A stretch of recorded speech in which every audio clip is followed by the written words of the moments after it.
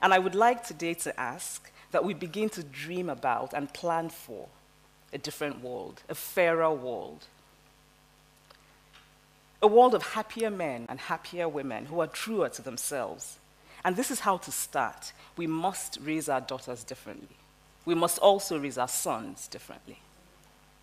We do a great disservice to boys in how we raise them. We stifle the humanity of boys.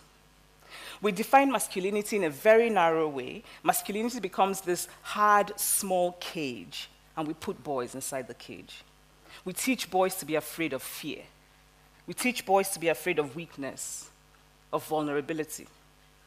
We teach them to mask their true selves because they have to be, in Nigeria speak, hard man.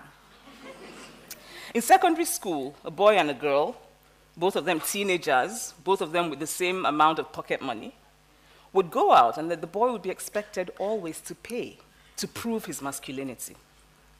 And yet we wonder why boys are more likely to steal money from their parents. what if both boys and girls were raised not to link masculinity with money? What if the attitude was not the boy has to pay, but rather whoever has more should pay? Now, of course, because of the historical advantage, it is mostly men who will have more today. But if we start raising children differently, then in 50 years, in 100 years, boys will no longer have the pressure of having to prove this masculinity. But by far the worst thing we do to males by making them feel that they have to be hard is that we leave them with very fragile egos. The more hard man a man feels compelled to be, the weaker his ego is. And he was right that day many years ago when he called me a feminist. I am a feminist. And when I looked up the word in the dictionary that day, this is what it said Feminist, a person who believes in the social, political, and economic equality of the sexes. My great grandmother, from the stories I've heard, was a feminist. My great grandmother did not know that word feminist, but it doesn't mean that she wasn't one. More of us should reclaim that word.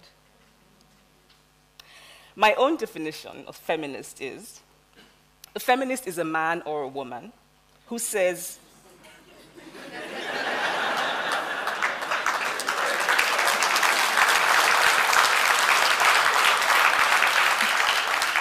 A feminist is a man or a woman who says, yes, there's a problem with gender as it is today, and we must fix it. We must do better.